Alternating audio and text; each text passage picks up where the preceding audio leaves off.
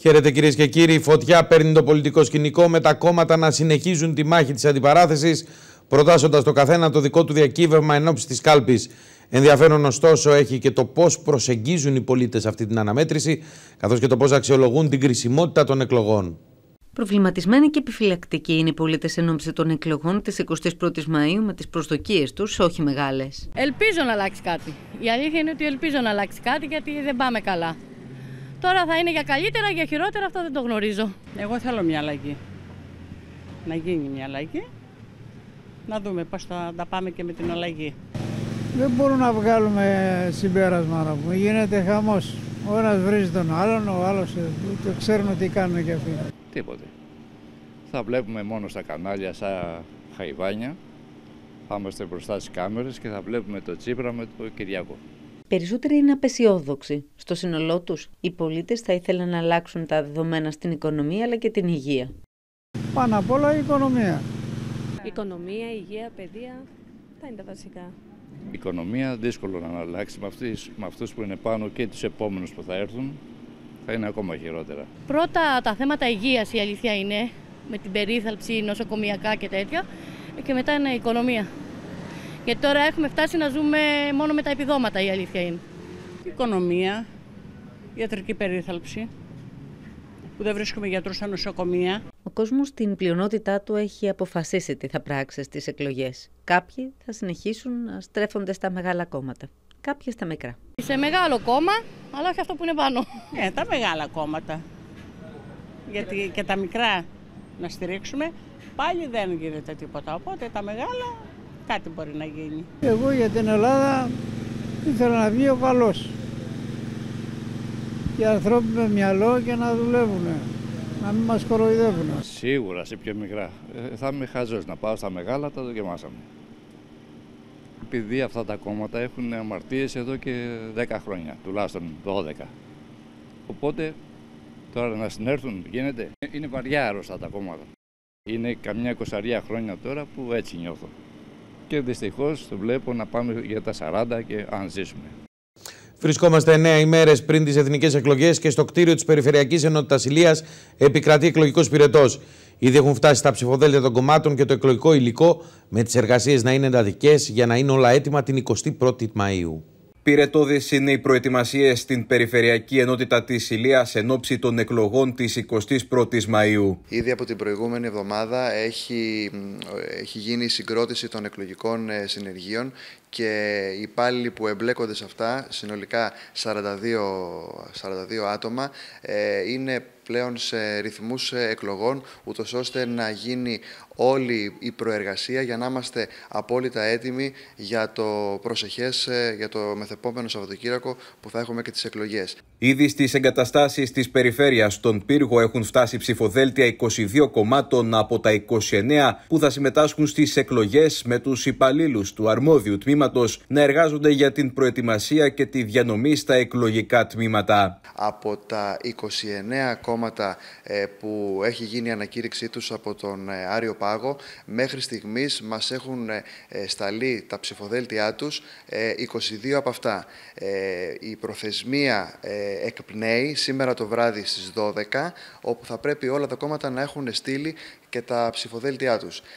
Στη συνέχεια ε, μπαίνουμε στη διαδικασία να γίνει, ε, να ετοιμαστούν οι εκλογικοί εισάκοι, οι οποίοι θα παραληφθούν από τους ε, Δήμους την επόμενη Πέμπτη. Στις φετινές εκλογές, οι δικαστικοί αντιπρόσωποι θα έχουν μαζί τους και τάμπλετ, έτσι ώστε να αποστελούν άμεσα τα αποτελέσματα από τα εκλογικά τμήματα στην περιφέρεια. Έχουμε την ενημέρωση από το Υπουργείο Εσωτερικών ότι στους εκλογικούς άκους που ήδη προετοιμάζουμε θα υπάρχει μέσα ε, απαραίτητα τάπλετ, ούτως ώστε ο κάθε δικαστικός αντιπρόσωπος να κάνει χρήση αυτού. Και φέτος, ε, για πρώτη φορά, σε αυτής, την εκλογική αναμέτρηση, θα υπάρχει δυνατότητα να έχουμε πολύ άμεσα και πολύ γρήγορα τα πρώτα αποτελέσματα. Στο μεταξύ, στο κτίριο της Περιφερειακής Ενότητας της Ηλίας θα υπάρχει φέτος και ειδικά διαμορφωμένος χώρος για τους δημοσιογράφους. Έχουμε προβλέψει χώρο, μιας και θέσατε αυτό το ερώτημα, για τους δημοσιογράφους κατά την ημέρα των εκλογών,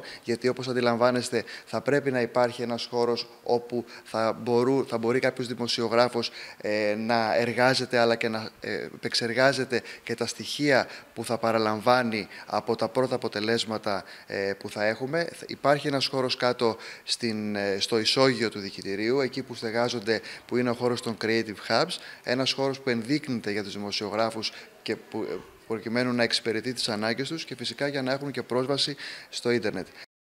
Να γυρίσουμε σελίδα στο δελτίο μας. Βελτίωση των εργασιακών δικαιωμάτων του ζητούν οι εργαζόμενοι στον χώρο της υγείας και στο νομό Ηλίας με αφορμή την Παγκόσμια ημέρα νοσηλευτού. Πρόκειται για τους ανθρώπους που στη δύσκολη περίοδο της πανδημίας απέδειξαν τον επαγγελματισμό τους, κρατώντας όρθιο μεταξύ άλλων το Εθνικό Σύστημα Υγείας. Η Παγκόσμια ημέρα νοσηλευτών που τιμάται κάθε χρόνο την 11η Μαΐου δεν αποτελεί απλά μια γιορτή, αλλά μια υπενθύμηση για το διαχρονικό έργο που προσφέρουν και επιτελούν οι νοσηλεύτριες και οι νοσηλευτές στις δομές του Δημοσίου Συστήματος Υγείας της χώρας μας. Αυτή η μέρα αποτελεί την ελάχιστη πράξη ειδικής ανταμοιβής στο έργο και την προσφορά των νοσηλευτών. Αυτή η μέρα τιμά τη Φλόρες Ναϊκικέλη, την Αγγλοϊταλίδα φιλάνθρωπο, που θεωρείται η ιδρύτρια της σύγχρονης νοσηλευτικής και πρόσφερε πολλά στην νοσηλευτική, αναδεικνύοντάς την τελικά σε επιστήμη. Σήμερα γιορτάζουμε. Γιορτάζουν οι νοσηλεύτριες και οι νοσηλευτές. Η Διεθνή ημέρα νοσηλευτών και νοσηλευτριών καθιερώθηκε για να θυμίζει σε όλους την πολύτιμη συνεισφορά των νοσηλευτών στην κοινωνία. Είμαστε εδώ για να τιμήσουμε τους νοσηλευτές μας. Τους νοσηλευτές που προσφέρουν, φροντίζουν, προάγουν την υγεία, παρέχοντας υψηλής ποιότητας υπηρεσίες, με γνώση, επαγγελματισμό και κυρίως συνέστημα. Αυτά τα χρόνια η μευτική και γυναικολογική κλινική αποτελεί το στολίδι του νοσοκομείου του Πύργου. Αυτό κυρίως οφείλεται στη συλλογική δουλειά εμάς των νεών, των νοσηλευτριών, των γιατρών και των εξαίρετων παιδιάτων. Δεν ανήκουν στην νοσηλευτική μονάδα των Χριστιανών, ανήκουν σε όλους μας. Και με μεγάλη χαρά, οποιοδήποτε θέλει να συμμετάσχει, είμαστε εκεί. Δεν θέλω να μακρηγορήσω, θέλω να σας ευχαριστήσω για αυτό που προσφέρετε καθημερινά, όχι μόνο εσείς και το ιατρικό προσωπικό και το διοικητικό προσωπικό για να σταθούν τα νοσοκομεία μας όρθια. Το ξέρω ότι έχουμε πάρα πολλά προβλήματα. Όμως μπορούμε όλοι μαζί. Ανεπιφύλακτα μπορούμε να πούμε ότι οι νοσηλεύτριε και οι νοσηλευτές αποτελούν μαζί φυσικά με τους γιατρούς το βασικό πυλώνα του Εθνικού Συστήματος Υγείας. Με πιο πρόσφατο παράδειγμα την περίοδο του κορονοϊού, καθώς κλήθηκαν να αντιμετωπίσουν και να περιθάλψουν μαζικά εκατοντάδες περιστατικά με έναν άγνωστο αρχικά ιό σε όλα τα νοσοκομεία της χώρας. Μέσα σε δύσκολες και αντίξωες πολλές φορές συνθήκες κατά τη διάρκεια της πρωτοφανούς κρίσης για την δημόσια υγεία. Αυτός ήταν και ο λόγος που εκατομμύρια συμπολίτες μας βγήκαν στα μπαλκόνια και τους χειροκρότησαν εν μέσω καραντίνας. Από την πρώτη στιγμή της πανδημίας COVID-19, όχι μόνο ανταποκρίθηκαν πλήρως στις ανάγκες πρωτοφανούς κρίσης της δημόσιας υγείας, αλλά υπερέβησαν εαυτού, ηγήθηκαν, καινοτόμησαν, πήραν πρωτοβουλίες, εκτέλεσαν με απόλυτη επιτυχία το έργο και σε συνεργασία με το ιατρικό προσωπικό και όλους τους επαγγελματίες υγείας και εργαζόμενου στο δημόσιο νοσοκομεία, συντέλεσαν να πετύχει η χώρα κάτι αξιοτάβαστο, καθόλου αυτονόητο να μείνει όρθιο το Εθνικό Σύστημα Υγείας και να μην καταρρεύσει. Παρ' όλα αυτά, δεν αναγνωρίστηκε από την πολιτεία η αυτοθυσία που, που επέδειξε το νοσηλευτικό προσωπικό κατά τη διάρκεια της πανδημίας. Θεούμαστε και συνεχίζουμε να διεκδικούμε την ένταξή μας στα βαρέα ικανοποιητικά, την αύξηση των μισθών, τη μονιμοποίηση των συμβασιούχων, ισχυρή δημόσια υγεία, πρόνοια και επαρκή στελέχωση και χρηματοδότηση.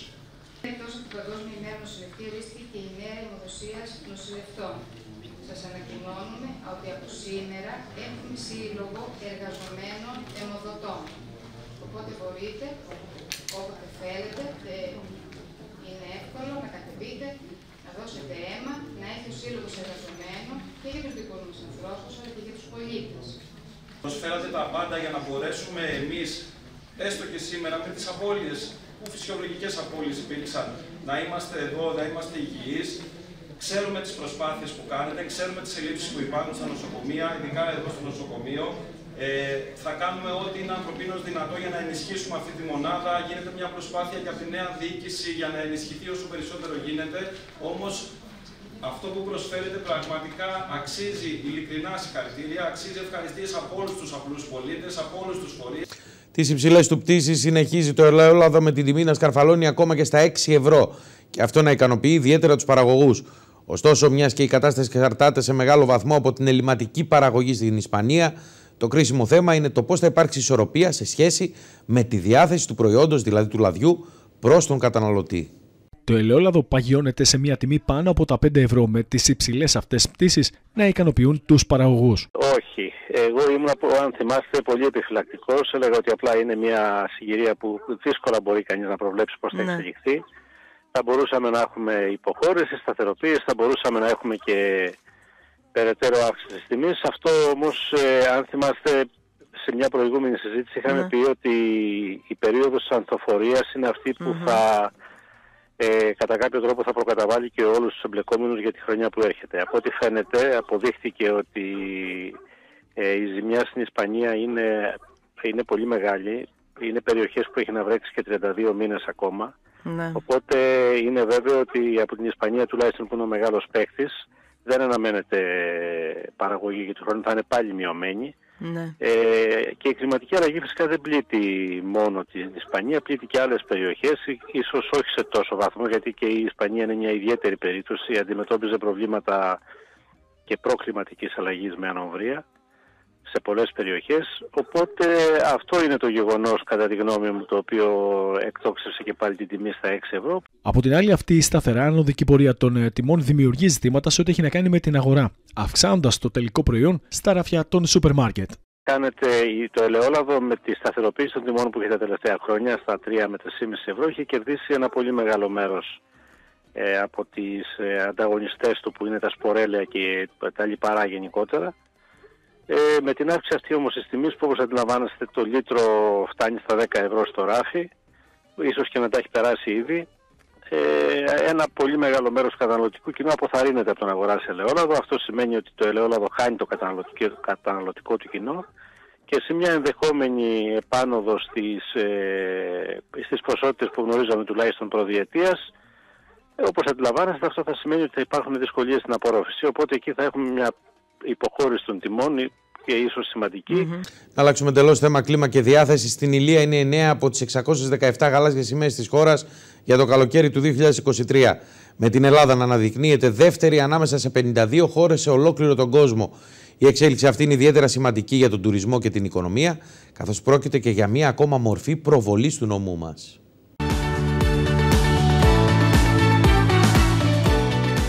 Ανακοινώθηκαν από την Ελληνική Εταιρεία Προστασίας Φύσης, εθνικό χειριστή του Διεθνούς Προγράμματος Γαλάζια Σημαία στη χώρα μας, οι βραβεύσεις ακτών, μαρινών και τουριστικών σκαφών. Με 617 βραβευμένες ακτές, η Ελλάδα κατέχει και πάλι τη δεύτερη θέση παγκοσμίως ανάμεσα σε 52 χώρες. Αξίζει να σημειωθεί ότι για πρώτη φορά οι βραβεύσεις ξεπερνούν τις 600 και ότι το σύνολο των 52 χωρών που συμμετέχουν στο πρόγραμμα, η Ελλάδα κατέχει το 15% των βραβευμένων ακτών.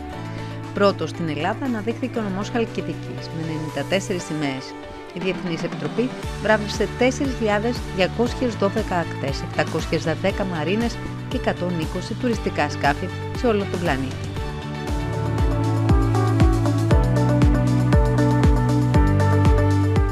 Γαλάζια σημαία είναι το πλέον αναγνωρισμένο και διαδεδομένο διεθνώς οικολογικό σύμβολο ποιότητας στον κόσμο.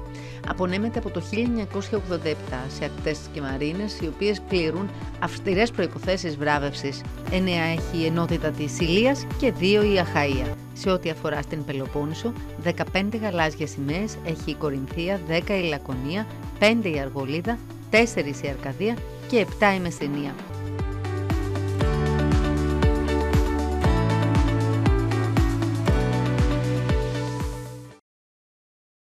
Σε μια πράξη αγάπης προς τον Μητροπολίτη Ηλίας και ο Λένης κύριο Αθανάσιο προχώρησαν τα μέλη του Συλλόγου Επαγγελματιών Φωτογράφων Νομού Ηλίας Φωτακτής, παραδίδοντάς του το φωτογραφικό του πορτρέτο στο Επισκοπείο. Πρόκειται για ένα καλλιτεχνικό στιγμιότυπο το οποίο αποθανατίστηκε με την ευκαιρία της ενθρόνησής του πριν από λίγους μήνες. Ο Πιμενάρχη εμφανίστηκε ιδιαίτερα συγκινημένος και δεσμεύτηκε ότι θα είναι πάντα στο πλευρό των μελών του συλλόγου τους. Με μεγάλο σεβασμό προς το πρόσωπό του, το Διοικητικό Συμβούλιο του Συλλόγου Επαγγελματιών Φωτογράφων του Νομού Ηλίας Φωτακτής παρέδωσε στον Σεβασμιότατο Μητροπολίτη Ηλίας Κιολένης, κύριο Θανάσιο, ως δώρο ένα φωτογραφικό πορτρέτο του, μεταφέροντας τις ευχές όλων των μελών για υγεία και μακροημέρευση στο έργο του. Μέσα από το βάθος της καρδιάς μου, το Σύλλογο Φωτογράφων του Νομού Ηλίας, τον πρόεδρο και την γραμματέα που ήρθαν σήμερα για να μου προσφέρουν την φωτογραφία μου που ήδη τράβηξαν και αυτό είναι μια εκδήλωση αγάπης των προς το πρόσωπό μου και θα τους υπόσχομαι ότι θα είμαι πάντοτε δίπλα τους και όσο μπορώ να τους επιλύω τα προβλήματά τους και τις δυσκολίες τους γιατί όπως ως επαγγελματίες έχουν πράγματι δυσκολίες, έχουν προβλήματα, έχουν τις αντιπαρότητες με κάποιους άλλους ε, που θέλουν να τους ε, ε, υπερστεράσουν ή να τους φαγγελώσουν ή να τους ε, παραμερίσουν. Εγώ είμαι πάντως δίπλα τους γιατί εγώ όλους αγαπώ, όλους ε, τους παρίσταμαι γιατί είμαι ως πατέρας, είναι όλα παιδιά μου. Δεν ξεχωρίσω ε, και δεν έχω ε, προγόνια ή παιδιά, είναι όλα μου παιδιά. Και ευχαριστώ πάρα πολύ για αυτή τη δωρεά, αυτό πραγματικά με εκτιμά ιδιαίτερα και έχουμε τέτοια έργα πράγματι που είναι καλά, ωραία και προβάλλεται η τέχνη σας να κάνετε για να δοθέσετε έτσι και τον άνθρωπο, αλλά και την τέχνη σας και την εργασία σας. Να είστε καλά. Ευχαριστώ πάρα πολύ. Έμφανος συγκινημένος εξαιτίας της πρωτοβουλίας αλλά και της κίνησης αυτής, ο Πιμενάρχη ευχαρίστησε τους εκπροσώπους των φωτογράφων του νομού, πλημμυρισμένο από συναισθήματα χαράς και ευγνωμοσύνης. Πριν δύο μήνες ε, είχαμε σκέψη, ε, σαν ΔΣ, να φωτογραφίσουμε το Σεβασμιότατο ε, για ένα πορτρέτο ε, με την ευκαιρία της ανθρόνησής του ε, στην θέση του Μητροπολίτη Ηλίας. πραγματικά έγινε αυτή η φωτογράφηση από τα μέλη του ΔΣ και η φωτογραφία η τελική παραδόθηκε σήμερα με τις ευχές μας για καλή σταδιοδρομία, τη μαντορία και την αγάπη μας και την εκτίμησή μας και, την, και τη στήριξή μας στο έργο του. Να περάσουμε κυρίες και κύριοι στην πολιτική επικαιρότητα με συζητήσεις όμως στο στούντιο και να καλωσορίσουμε ευθύς αμέσως την υποψήφια βουλευτή της Νέας Δημοκρατίας, την κυρία Άννα Μαρία Βλαγκούλη, η οποία βρίσκεται κοντά μας. Κυρία Βλαγκούλη, καλησπέρα σας. Καλησπέρα σας. Ευχαριστώ πάρα πολύ για την πρόσκληση. Είναι μεγάλη μου χαρά που βρίσκομαι εδώ μαζί σας. Κυρία Βλαγκούλη, από τη στιγμή που ανακοινώθηκε το όνομά σας, ένα όνομα βαρύ με ιστορία στο όνομα Ηλίας, προξένησε εντύπωση. Προξένησε εντύπωση ένας νέος άνθρωπος ο οποίος εισέρχεται στο στίβο της πολιτικής. Ήταν εύκολη απόφαση. Ε, ήταν μια απόφαση πολύ ξαφνική όσον αφορά το πώς ε, ήρθαν τα πράγματα, το πώς ακολούθησαν. Λόγω του ότι ο πατέρας μου, ο Θόδωρος Βλαγκούλης, ήταν ένας μεγάλος αγωνιστής του τόπου μας. Εδώ και αρκετές δεκαετίες πάλευε για το τόπο μας και πέθανε ξαφνικά. Οπότε ο θάνατος του έκοψε απότομα το νήμα της ζωής και τον κύκλο του αγώνα που έκανε. Ο αγώνας έμεινε στη μέση, και εγώ κλήθηκα εκείνη τη στιγμή να βιώσω δύο ε, κομβικά γεγονότα στη ζωή μου. Το ένα ήταν η απώλεια του πατέρα μου, ένα πολύ ξαφνικό γεγονός λόγω του ότι ήταν μια χαρά στην υγεία του. Και το δεύτερο ήταν ότι κλήθηκα να συνεχίσω τον πολιτικό του αγώνα. Βέβαια, με την προτροπή του Πρωθυπουργού μας, του Κυριάκου Μητσοτάκη, ο οποίος και ο ίδιος αναγνώρισε τον Θόδωρο Βλαγκούλη ως έναν μεγάλο αγωνιστή του τόπου μας, το οποίο ήταν μια μοιραία απόφαση που έπρεπε να κάνω για να ακολουθήσω και να υλοποιήσω τον αγώνα του πατέρα. Άρα το θεωρήσατε και ως χρέος, κατ' ουσίαν. Ήταν ένα χρέος, μπορώ να πω, γιατί από μικρή έβλεπα τον πατέρα μου που πάλευε για το καλό του τόπου μας. Και μάλιστα την ημέρα που έφυγε από τη ζωή ήταν στο φράγμα του ποινιού, όπου έβγαλε έναν πολύ δυνατό λόγο για το καλό του τόπου, ε, για την σωστή ανάπτυξη. Οπότε δεν μπορούσα να το αφήσω. Για πάμε λίγο στην Ηλία. Όπως είπατε, ο έμνησο πατέρας σας ασχολήθηκε πάρα πολύ με την Ηλία, ασχολήθηκε πάρα πολύ με τους αγρότες της Ηλίας, με τα ζητήματα της Ηλίας από τη μία άκρη στην, άκρη στην άλλη. Ήταν η καθημερινότητά του, ήταν η ενασχόλησή του, ήταν μη τι άλλο αυτό που του έδινε μια διαφορετική πνοή στην καθημερινότητα. Ακολουθείτε το ίδιο μοτίβο κι εσείς; Θα μπορούσα να πω πως η βάση, οι ρίζες μου είναι ο πατέρας μου. Το μήλο κάτω από τη μιλιά έπεσε, που λέμε. Ε, ο πατέρας μου ποτέ δεν έκοψε τον ομφάλιο λόρο του με τη γενέτειρά μας. Η Ηλία πάντα αγαπούσε την Ηλία και έδωσε τη ψυχή του σε αυτό. Όπως και εγώ, δεν έχω κόψει τον ομφάλιο λόγο μου με τον πατέρα μου, με την αγάπη μου για τον πατέρα μου. Η κινητήριος δύναμη μέσα μου σε όλο αυτό που κάνω είναι η αγάπη για τον πατέρα μου και για τον αγώνα αυτό που έκανε. Οπότε, ως βάση, στηρίζομαι σε αυτή την βαριά κληρονομιά του πατέρα μου. Ναι, μεγάλωσα βλέποντας τον πατέρα μου να αγαπάει το τόπο μας, να μου δείχνει για τη γη, να μαθαίνω για την ελιά και για το καλό του τόπου μας. Και ως μια φυσική συνέχεια, γιατί είμαι ένας νέος άνθρωπος, μια γυναίκα εργαζόμενη, προστίθονται και κάποια καινούργια στοιχεία, τα οποία και λόγω του επαγγέλματός μου, επειδή ασχολούμαι με το marketing και έχω μια ιδιαίτερη έφεση στο κομμάτι της ψηφιακής τεχνολογίας και στην ανάπτυξη, θα μπορούσα να πω ότι είναι μια πλεξούδα, ένας συνδυασμός. Δηλαδή, η αγάπη, η κλασική και όλος ο αγώνας του πατέρα μου για το αγροτικό κομμάτι, για την ανάπτυξη του τόπου μας και νεότερα στοιχεία τα οποία είναι της γενιάς μου και ως marketing, το οποίο έχει να κάνει και με το κομμάτι του τουρισμού, αλλά και ένα πολύ σημαντικό, το οποίο το έχω δει, το πώς μπορούμε να κάνουμε τους νέους να γυρίσουν πίσω στις ρίζες μας. Πολύ σοβαρό αυτό. Πολύ σοβαρό, ιδιαίτερα σοβαρό και μάλιστα σε μια ηλία που τα τελευταία χρόνια χάνει πληθυσμό, χάνει νέο πληθυσμό, είτε από τα ορεινά είτε από τα παιδινά. Έχει ξεκινήσει μια άτυπη εσωτερική μετανάστευση και πάλι. Και θέλω να μου πείτε, η ηλία του σήμερα έχει προοπτική, έχει ναι. μέλλον; Έχει προοπτική και είμαι στην ευχάριστη θέση και είναι μεγάλη μου τιμή, συνεχίζοντας αυτόν τον αγώνα, να σας πω το εξής. Η στόχη μου και το όραμά μου ταυτίζεται απόλυτα με τους στόχους που είναι στο πρόγραμμα της Νέας Δημοκρατίας και του Κυριάκου Μητσοτάκη. Ο ίδιος ο Πρωθυπουργός, ο Κυριάκος Μητσοτάκης, είναι ένας πολιτικός με ψυχή, με αγάπη, με όραμα για τον τόπο μας. Στο πρόγραμμα λοιπόν υπάρχει πολύ έντονα το στοιχείο της ανάπτυξης όσον αφορά το τουριστικό κομμάτι. Θέλουμε να είναι 365 μέρες το χρόνο τουριστική σεζόν για όλη την Ελλάδα. Το δεύτερο κομμάτι είναι ότι θέλουμε να πετύχουμε στο 60% των εξαγωγών. Οπότε αυτά τα δύο έρχονται και δένουν με δύο μεγάλα θέματα που αντιμετωπίζει η Ηλία.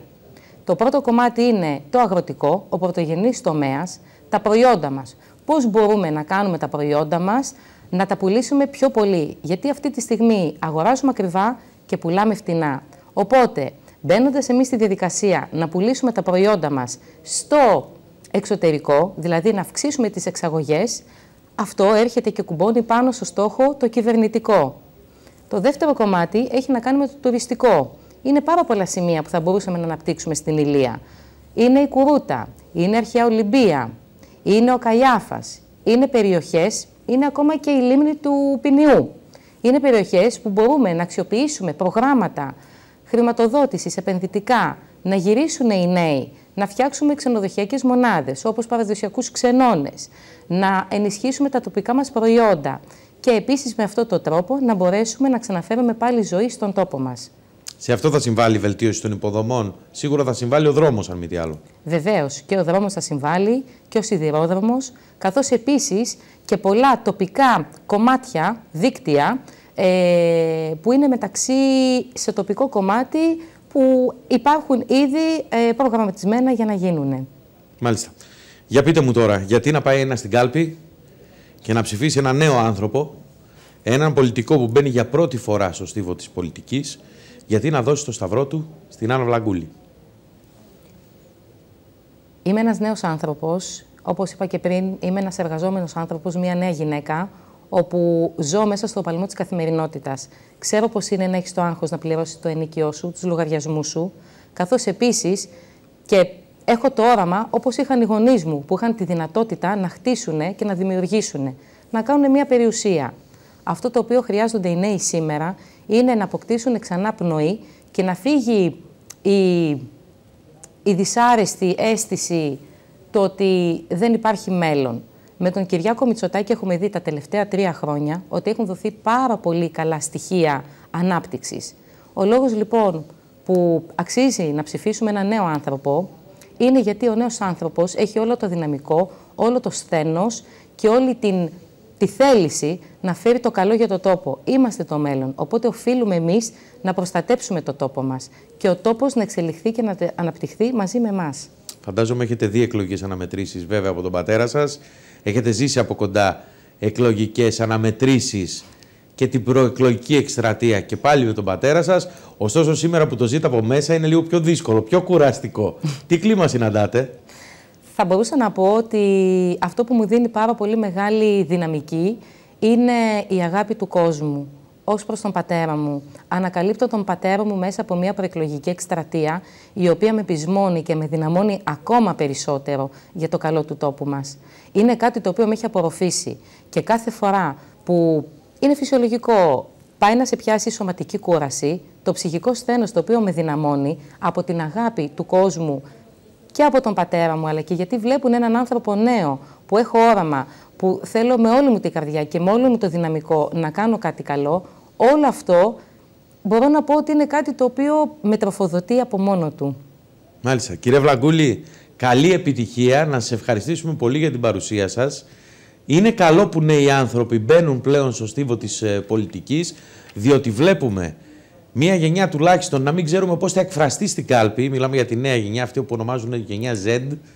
Και βεβαίως και μεγαλύτερες γενιές που σήμερα έχουν φτάσει περίπου στα 40 και πάλι να έχουν μια αποστροφή στην πολιτική. Άρα το πρώτο θετικό είναι ότι ένας νέος άνθρωπος επέλεξε να εκφραστεί μέσα από την πολιτική. Σας ευχαριστούμε πολύ. Και εγώ σας ευχαριστώ πάρα πολύ. Να είστε καλά. Να είστε καλά.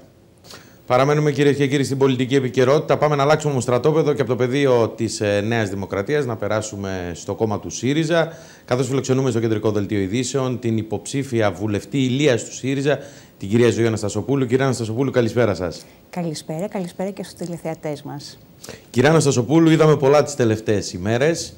Βεβαίως ε, το κλίμα βαδίζει προς την κορύφωση της ε, εκλογικής διαδικασίας. Μιλάμε για την κάλπη της 21η Μαου. Είδαμε και το debate των ε, πολιτικών αρχηγών. Για πείτε μου γενικότερα την αίσθηση που σας έχουν αφήσει οι τελευταίες ημέρες στο τελευταίο διάστημα. Οι τελευταίες ημέρες είναι μέρες αγώνα, είναι μέρες κορύφωσης, όπως ακριβώς το περιγράψατε. Ε, όλοι οι υποψήφοι τρέχουμε και εγώ που είναι και η πρώτη μου φορά και η πρώτη εμπειρία το εισπράττω και το απολαμβάνω ιδιαίτερα, παρά το γεγονός ότι η κούραση είναι πάρα πολύ μεγάλη και θα κορυφωθεί ακόμα περισσότερο στις προσεχείς 9, 9 ημέρες. Όσον αφορά στο debate, έχω να, να, να πω ότι ε, να περιγράψω την υπεροχή του πρόεδρου Αλέξη Τσίπρα ε, στο, ε, καθ' όλη τη διάρκεια του debate, ο οποίος ε, ξεχώρισε ιδιαίτερα με τα προσόντα του, τα λεκτικά και την άνεσή του, αλλά και τις αλήθειες και την περιγραφή του προγράμματος. Ε, επομένως, είμαι πάρα πολύ ευχαριστημένη από την εικόνα που παρουσίασε ο πρόεδρος στο debate αυτό, παρά το γεγονός ότι ήταν πολύ αυστηρά τα μέτρα, όπως οι δημοσιογράφοι όλοι ε, συνομολόγησαν. Ήταν αυστηρά τα μέτρα, έγινε προσπάθεια από τους δημοσιογράφους αυτή τη φορά, διότι έχουμε ακούσει τα εξαμάκη ως κλάδος. Ωστόσο, έγινε μια προσπάθεια τουλάχιστον να βγουν οι απαντήσεις που έπρεπε. Βεβαίως, έχετε απόλυτο δίκιο. Σε ένα αποστηρωμένο περιβάλλον είναι πολύ δύσκολο να κάνεις τη δουλειά σου. Ωστόσο, έγινε η προσπάθεια. Ναι. Για πάμε λίγο στα αμυγός ε, πολιτικά. Θέματα καθημερινότητας, οικονομικής ε, διαχείρισης και βεβαίως ε, θέματα δικαιοσύνης θεσμών, διαφάνειας είναι αυτά που φαίνεται ότι μονοπολούν το ενδιαφέρον εν ώψη της κάλπης. Θεωρείτε σε αυτό το πεδίο, θα, θα, με αυτό το πεδίο ως βάση θα πάνε να ψηφίσουν και οι πολίτες την 21η του Μάη; Πραγματικά τα θέματα τα οικονομικά είναι τα θέματα που βαραίνουν στη συνείδηση των πολιτών και στην επιλογή φυσικά. Ε, όταν η τσέπη μένει άδεια από τη δέκατη και ημέρα ε, μετά την ε, λήψη του μισθού και δέκατη λένε, ε, δέκατη λένε ε, οι μετρήσεις. Ε, εγώ οι πιστεύω επίσημοι ότι δείκτες, σωστά. Οι επίσημοι δείκτες, εγώ πιστεύω ότι είναι πολύ λιγότερες ημέρες, διότι κατά την επικοινωνία που έχω σε όλη την ηλία με τους ηλίους πολίτες, έχω ακούσει παράπονα ε, για το μισθό, ότι ο μισθός ε, τελειώνει πλέον ίσως την 7η, την 8η ημέρα. Μάλιστα θα σας πω κύριε Κρετσιώτη ένα πολύ χαρακτηριστικό παράδειγμα, θα σας φέρω ένα πολύ παρα... Ε, χαρακτηριστικό παράδειγμα. Ε, φίλη μου εξομολογήθηκε ότι μετά την 5η-6η μέρα ψάχνει στο τασάκι που αφήνει τα ψηλά αυτή και ο άντρας στην οικογένειά τους, στο σπίτι τους, για να, βρουν, ε, για να εξεύρουν πόρους ε, από αυτό το μικρό κουμπαρά που όλοι παρατάμε κάπου ψηλά για να εξεύρουν πόρους και να πάρουν γάλα για τα παιδιά τους. Είναι πραγματικά τραγικές οι καταστάσεις, οι συνθήκες για τον φτωχό λαό, για τον κόσμο. Ναι, Επομένως, πόσο εύκολο είναι να αλλάξει αυτό μετά την 21η Θα σας πω, θα σας πω. Ε, επομένως, ε, τα ζητήματα ακρίβειας είναι αυτά που ταλανίζουν τον, ε, το λαό, τη βάση ε, του εκλογικού σώματος ε, και τα θέματα της διαφάνειας και των θεσμών όπως ε, και πριν θίξατε σαφώς είναι αυτά που ανησυχούν γιατί αν δεν υπάρχει ποιότητα στη δημοκρατία δεν μπορούμε να, δεν μπορούμε να νιώθουμε ασφαλείς και αξιοπρεπείς στο πλαίσιο, στο εθνικό μας πλαίσιο. Τώρα, ε, πώς θα μπορούν αυτά τα, πώς θα μπορεί ακρίβεια να αντιμετωπιστεί, ε, γιατί, γιατί να εμπιστευτεί το πρόγραμμα του ΣΥΡΙΖΑ, του ο πολίτης; Ε, καταρχάς το πρόγραμμα ΣΥΡΙΖΑ παρά τη δεμενοποίησή του από τη Νέα Δημοκρατία και την ασύλληπτη ε, για ακόμα μια φορά κινδυνολογία της είναι ένα πρόγραμμα ρεαλιστικό, καινοτόμο, ανθρωπιστικό και απόλυτα κοστολογημένο στα 5,5 δισεκατομμύρια ετησίως. Γιατί να εμπιστευτεί το πρόγραμμα, διότι το πρόγραμμα είναι απόλυτα ανακουφιστικό ε, και προσαρμοσμένο στις ανάγκες της ελληνικής κοινωνίας. Ε, θα ξεκινήσει ε, από την πρώτη στιγμή ε, με πάγωμα καταρχάς των πληστηριασμών. Θα έχουμε αναστολή των πληστηριασμών, άρα όσοι χρωστούν και έχουν αγωνία και τη θηλιά στο λαιμό τους μην τους πάρει, μην έρθει ο πληστηριασμός, μην, τα κοράκια και τους πάρουν το σπίτι, θα σταματήσουν να έχουν τις αγωνίες μέχρι να νομοθετήσει η νέα Βουλή το, το νομοθέτημα το σχετικό με τη ρύθμιση των χρεών και τις, και τις νέες ρυθμίσεις που βλέπουν, τις νέες ρυθμίσεις που θα αφορούν ε, στο νέο πτωχευτικό κώδικα. Ε, θα έχουμε μείωση ΦΠΑ, μείωση ΦΠΑ στα τρόφιμα. Ε, τα, το ΦΠΑ θα κατέβει, θα μειωθεί στο 6%. Θα έχουμε και, θα, δεν θα έχουμε και καθόλου ΦΠΑ στα τρόφιμα. Προβλέπει σε λοιπόν το πρόγραμμα σε κάποια ε, ακριβώς βασικά είδη πρώτης ανάγκης, όπως το γάλα, το ψωμί και κάποιες παιδικές τροφές, ε, δεν θα έχουν καθόλου ΦΠΑ. Θα έχουμε επίσης μείωση του ειδικού φόρου κατανάλωσης στα καύσιμα. Θα έχουμε εξάλληψη του ειδικού φόρου κατανάλωσης στο αγροτικό πετρέλαιο και στα κτηνοτροφικά καύσιμα. Αυτά είναι μέτρα τα οποία θα ανακοφίσουν κατευθείαν την ελληνική κοινωνία και την τσέπη του Έλληνα πολίτη. Κυρίως και κυρίως των πολιτών της Ηλίας, οι οποίοι είναι ε, άνθρωποι που ασχολούνται κατά κύριο λόγο με τον πρωτογενή τομέα. Άρα το μέτρο της ε, εξάλληψης του ε, ειδικού φόρου κατανάλωσης στο αγροτικό πετρέλαιο θα είναι κάτι που άμεσα θα το καταλάβει ο αγρότης της Ηλίας.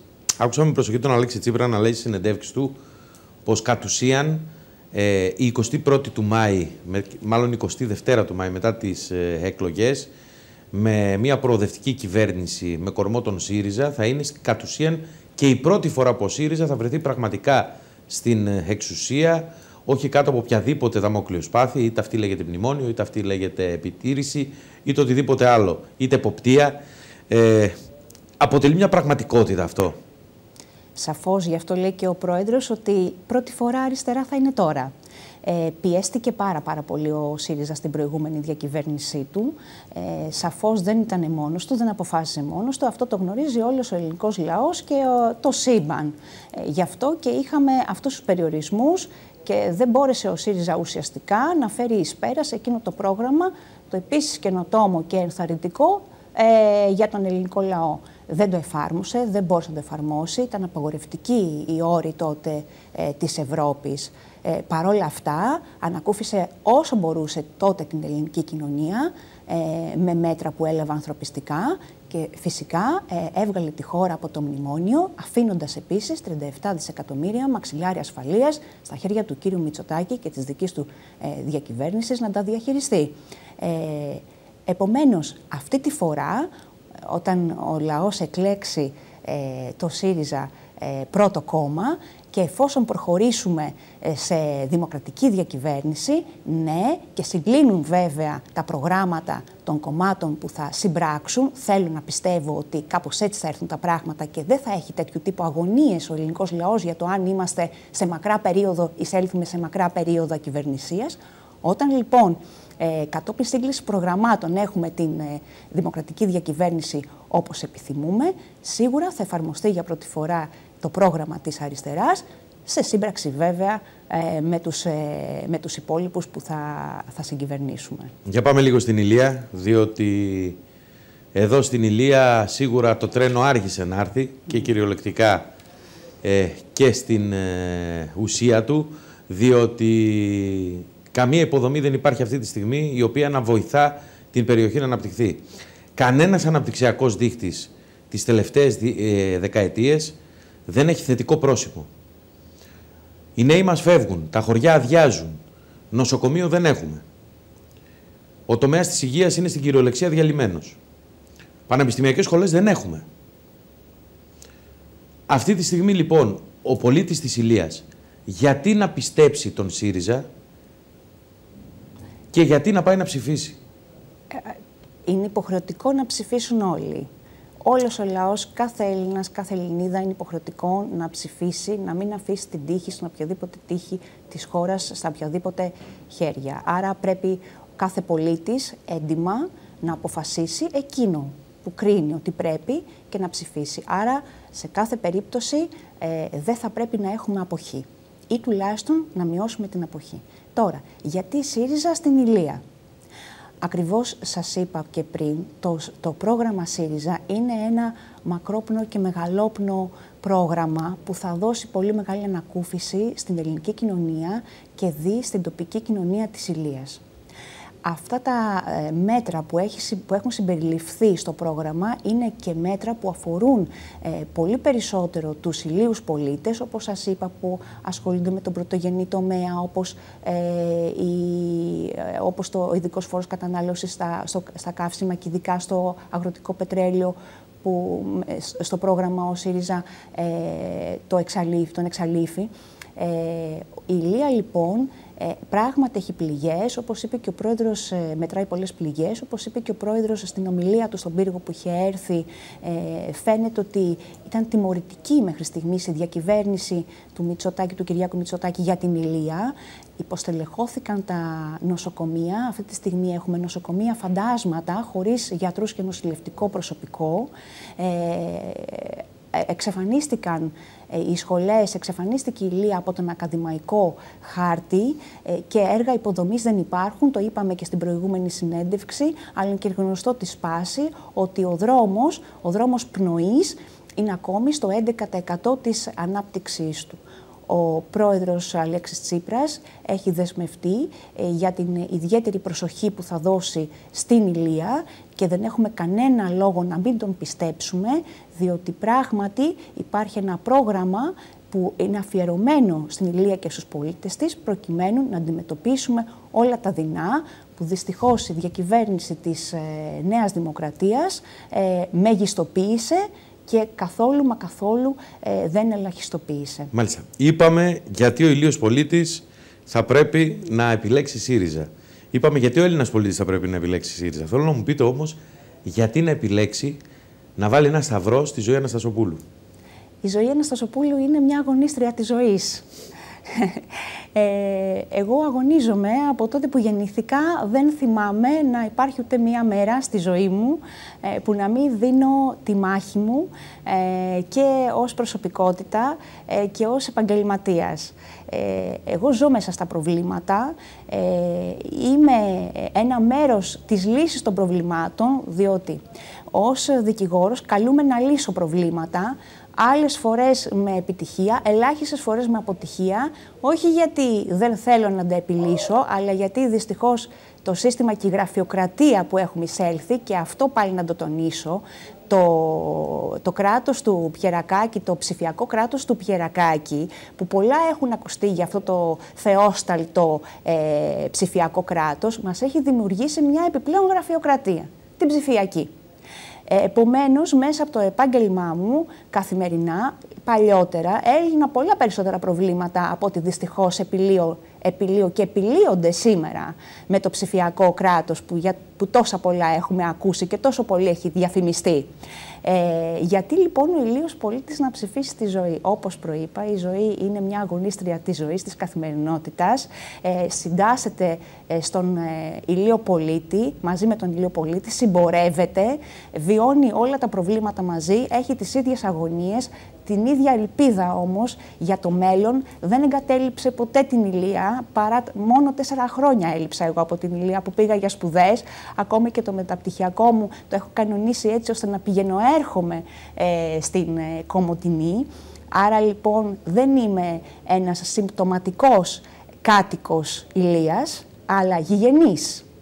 Ε, δεν μου ξεφεύγει λοιπόν κάτι, δεν ε, διαφοροποιούμε από τον μέσο ηλίο και πονώ πάρα πολύ για τον τόπο μου που περιμένω να τον δω να ανθίζει διότι η οπισθοδρόμηση και η διολίσθηση ε, έχει πληγώσει όλους τους ηλίους και μας έχει στερήσει το χαμόγελο από τα χείλη. Μάλιστα. Και με αυτό θα κλείσουμε. Καλή σας επιτυχία. Σας ευχαριστώ πολύ. Σας ευχαριστώ και εγώ. Να είστε καλά. Συνεχίζουμε τη συζήτηση στο στούντιο εν ώψη των εκλογών της 21ης Μαΐου, καθώς έχουμε την τιμή και τη χαρά να φιλοξενούμε στην Ολυμπιακή Ραδιοφωνία Τηλεόραση τον ε, γνωστό γιατρό και υποψήφιο βουλευτή Ηλίας με το Πασόκ Κίνημα Αλλαγή, τον κύριο Αριστομένη Χρόνη. Κύριε Χρόνη, καλησπέρα σας. Καλησπέρα κύριε Τσότη, καλησπέρα και στους τηλεθεατές σας. Κύριε Χρόνη, ε, δεν άλλαξαν και πολλά από την ε, προηγούμενη συνάντησή μας. Ωστόσο, σιγά σιγά βαδίζουμε προς την κορύφωση. Μπαίνουμε στην τελευταία εβδομάδα σιγά σιγά της εκλογικής διαδικασίας. Πείτε μου την αίσθηση που σας έχει αφήσει μέχρι τώρα. Ακριβώς. Ε, κατά μένα έχουν αλλάξει πάρα πολλά. Υπάρχει μια τελείως διαφορετική αίσθηση όσο πλησιάζουμε στις ε, εκλογές. Ο κόσμος πιστεύω πως. Ε, κατά την, αυτή είναι η εκτίμησή μου. Με την καθημερινή επαφή που έχω αρχίσει και εκδηλώνονται περισσότερο. Όσο πιστεύω πως ε, κάθε μέρα που περνάει θα είναι πιο ξεκάθαρα τα πράγματα. Σίγουρα την πρώτη συνέντευξη που δώσαμε ήταν τελείως διαφορετικά τα πράγματα. Τώρα πιστεύω πως σιγά σιγά ξεκαθαρίζουν. Ο κόσμος έχει αποφασίσει τι θα κάνει. Μπορεί να μην το, το εκδηλώνει φανερά, αλλά πιστεύω πως ξέρει τι θα κάνει στις εκλογές. Επειδή έχετε ξανακάνει εκλογές στην Ηλία, ποια είναι η αίσθησή σας για το Πασόκ; Η αίσθησή μου είναι πάρα πολύ καλή, πολύ θετική. Είναι τελείως διαφορετικό το κλίμα είναι πιο ενθουσιώδης, υπάρχει μία στροφή προς το Πασόκ γιατί και ήταν απελπισμένος, να πω να μην πω απαξιωμένος, θα πω μόνο απελπισμένος από τις δύο προηγούμενες κυβερνήσεις κυβερνητικές θητείες και από τον κύριο Τσίπρα και από τον κύριο Μητσοτάκη. Ε, αρκετά άτομα τα οποία το 19 και το 15 αλλά και το 19 που ψήφισαν ΣΥΡΙΖΑ ή κάποιο άλλο κόμμα ε, δηλώνουν σε κάθε στιγμή που μπορούν πως επιστρέφουμε στο σπίτι μας, επιστρέφουμε στο Πασόκ.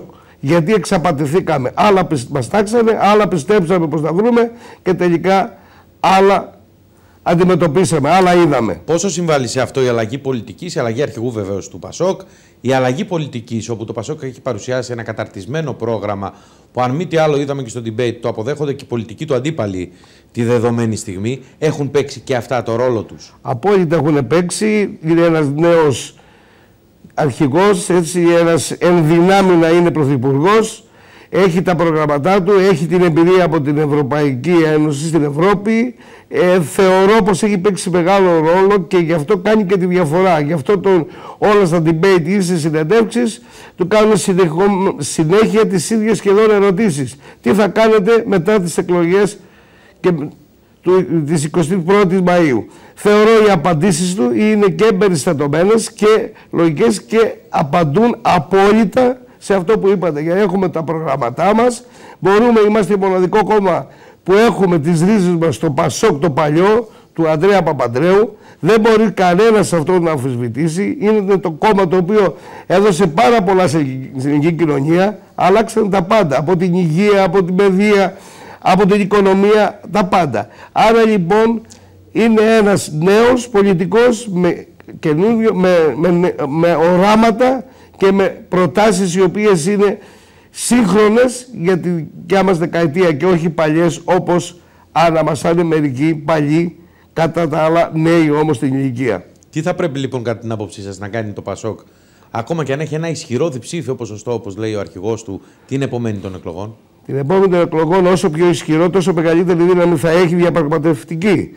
Άρα λοιπόν κατά τη γνώμη μου πρέπει να βάλει τα προγραμματά τα οποία έχει και θεωρώ πως είναι το μοναδικό κόμμα πως έχει για, σε, κάποιο, ε, σε κάποια ζητήματα έχει θέσεις να τις βάλει κάτω μαζί με οποιονδήποτε θέλει να συζητήσει.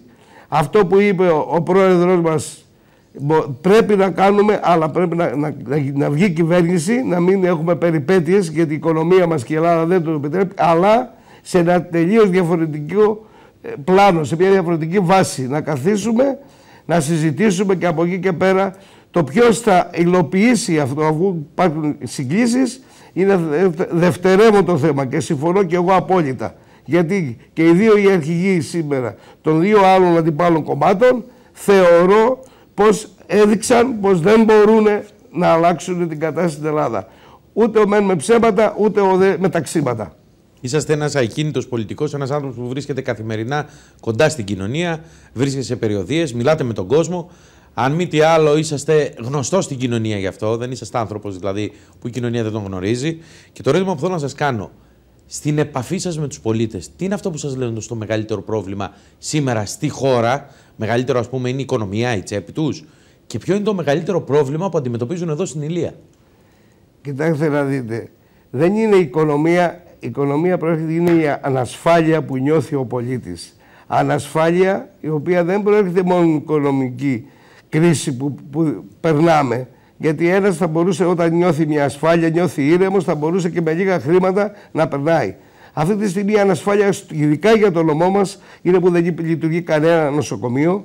Είμαστε ένα διακομιστικό κέντρο.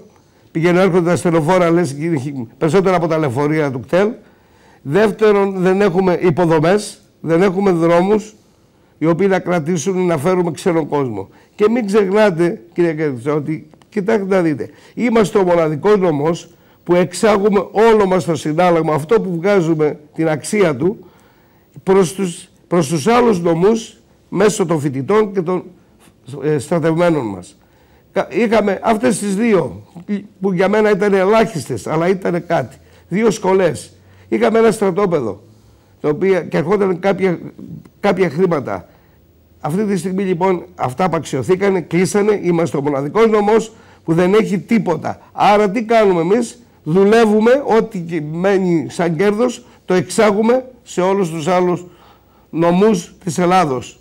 Αυτό είναι ένα πράγμα το οποίο Και πώς μπορεί η Ηλία να μπει σε αναπτυξιακό πρόσημο, σε θετικό αναπτυξιακό πρόσημο σιγά σιγά; Κοιτάξτε να δείτε, πρώτα απ' όλα είναι υποδομές. Αν δεν έχουμε υποδομές δεν μπορούμε να κάνουμε ούτε τα αγροτικά προϊόντα μπορούν να προωθηθούν, ούτε ο τουρισμός που είναι ένας από τους βασικότερους σήμερα, η καλύτερη βιομηχανία θα έλεγα που έχει η Ελλάδα, όταν θέλει ο άλλος για να έρθει εδώ, κινδυνεύει τη ζωή του ή θέλει ώρες να, να φτάσει σε, ένα, σε μια παραλία, είμαστε ένας από τους ομορφότερους νομούς, αλλά είμαστε και παραμελημένοι. Και δεν φταίει κανένας. Ευλογημένος νομός που τα περιμένουν όμως όλα να γίνουν με τη βοήθεια του Θεού.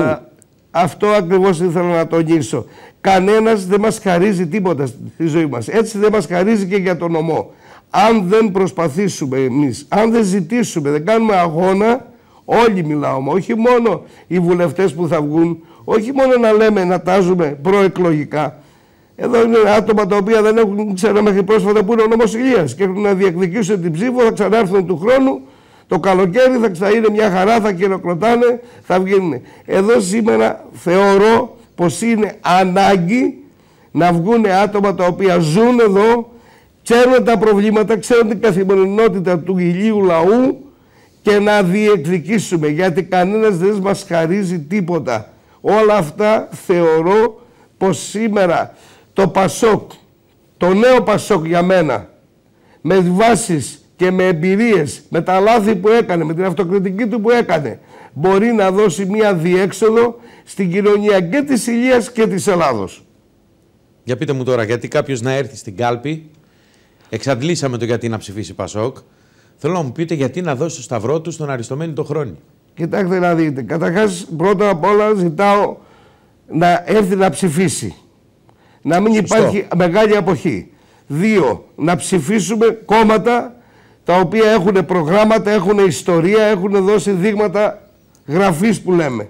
Να μην πάνε ή να απέχουν ή να ψηφίσουν αντιδραστικά κόμματα. Τρίτον, το ΠΑΣΟΚ έχει την εμπειρία, έχει τη δυνατότητα, έχει τα προγράμματα τα οποία να βοηθήσει. Και τελευταίο, όσο με αφορά προσωπικά, πιστεύω, ζω 30 χρόνια στον νομό Ηλίας, εργάζομαι, έχω τα γιατρία μου, αποδίδω τους φόρους, έχω άτομα που δουλεύουν στον νομό, ξέρω τα προβλήματα, ζω καθημερινά, πιστεύω πως, πως έχω τη δυνατότητα και παραλαμβάνω και την εμπειρία να, δω, να διεκδικήσω αυτά που λέω πως δεν τα διεκδικήσανε μέχρι τώρα οι προκάτοχοί μου.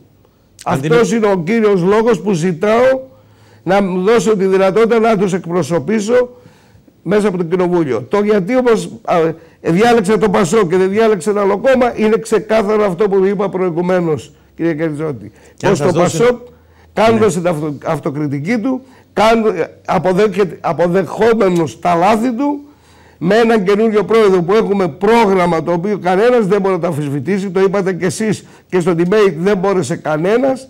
Προσπαθούμε να φτιάξουμε μία άλλη κοινωνία η οποία θα είναι τελείως διαφορετική για τους νέους μας που έχει σημασία μεγάλη. Εγώ κάνω έναν αγώνα να μπορέσει η Ηλία να γίνει ένας τόπος ο οποίος κάποιος νέος να θέλει να ζήσει και όχι να θέλει να φύγει άρον άρον με αυτό το νομό. Γιατί μέχρι τώρα αυτό συμβαίνει. Έχουμε μεγάλη διαδρομή προς τα αστικά κέντρα μαζί με τα στο εξωτερικό παντού. Γιατί δεν υπάρχουν ε, σήμερα οι υποδομές τέτοιες οι οποίες να κρατήσουν το, τους νέους μας. Τελευταίο ερώτημα. Καλώς εγώ των πραγμάτων, κυρία, και έχουμε εκλογές. Όπως είπατε, σας ψηφίζουν οι πολίτες και σας στέλνουν στο Εθνικό Κοινοβούλιο. Το πρώτο πράγμα που θα κάνετε ποιο είναι για τον νόμο; Το πρώτο πράγμα που θα κάνω και είναι σημαντικό, από τα σημαντικότερα, πρώτα είναι η υγεία. Πρέπει να φροντίσουμε τουλάχιστον προς, το παρό, προς την αρχικά να, να κηρυχτεί ο, ο νομός μας υγειονομικά άγωνος, να έρθουν γιατί έρχεται το καλοκαίρι με τόσες χιλιάδες τουρίστες. Ήδη είμαστε εμείς πόσες, 150.000 περίπου, έχουμε δύο όμορους, όμορους ε, ε, νομούς.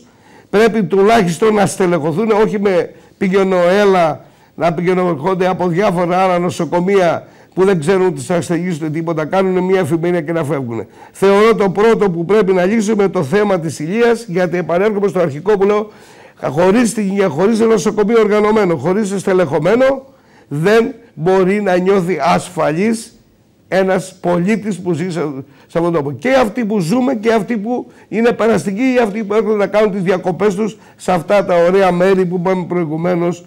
Ένα από αυτές τις ωραίες παραλίες που τις ζηλεύουν πολύ που δεν έχουμε να ζηλέψουμε από κανένα άλλο κράτος, από καμιά άλλη περιοχή. Ούτε στη Μεσογείου, ούτε σε εμφυλίου. Κύριε Χρόνη, να σε ευχαριστήσουμε πολύ. Καλή σας επιτυχία.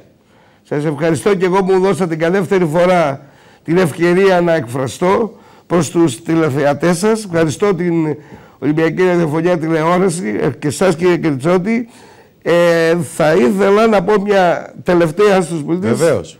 Έτσι, μια παράκληση να πάνε όσο περισσότερο να ψηφίσουν, να συμμετέχουν στις εκλογές και να δώσουν και συγχρόνως μάλλον να δώσουν και μια ισχυρή δύναμη στο Πασόκ να μπορέσει να εκφραστεί, να μπορέσει να υλοποιήσει το πρόγραμμά του γιατί το έχει ανάγκη η κοινωνία. Όσο περνάει, περνάει ο χρόνος βλέπουμε πως είναι αισθητή η απουσία του Πασόκ. Αυτό ήθελα να σας ευχαριστήσω και πάλι να καλλιτιχτήσω τους φίλους τηλεθεατές και εγώ θα είμαι εδώ. Καλώς και βράδυ. εγώ και δεν θα είμαι, πάλι θα συνεχίσω να δουλεύω και θα ζω σε αυτή την ευλογημένη, όπως είπαμε, περιοχή που είναι ο νομός Ηλίας. Καλώς σας βράδυ, να είστε καλά. Και στο σημείο αυτό, κυρίες και κύριοι, ολοκληρώθηκε η ενημέρωσή σας από την Ολυμπιακή Ραδιοφωνία Τηλεόραση. Από όλους εμάς τίποτα άλλο, πάρα πολλές ευχές. Γεια σας.